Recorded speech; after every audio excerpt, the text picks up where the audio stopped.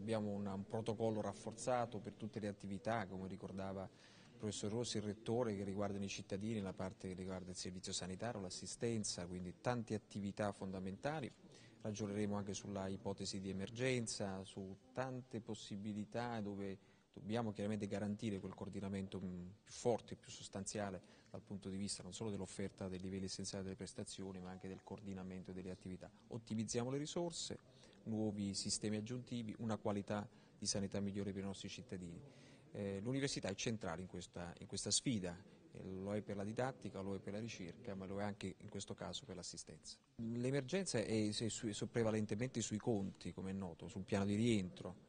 eh, dobbiamo migliorare la sanità, questo è evidente, ma lo dobbiamo migliorare in Italia, il servizio sanitario va migliorato, c'è sempre bisogno di una migliore sanità,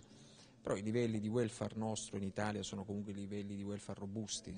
è un problema soprattutto di organizzazione e di efficienza e su quello stiamo lavorando. Cioè dobbiamo essere capaci di dare risposta ai bisogni di salute del cittadino campano, napoletano e nello stesso momento portare avanti i nostri obiettivi di ricerca e di alta formazione. La nostra università ha tanti poli,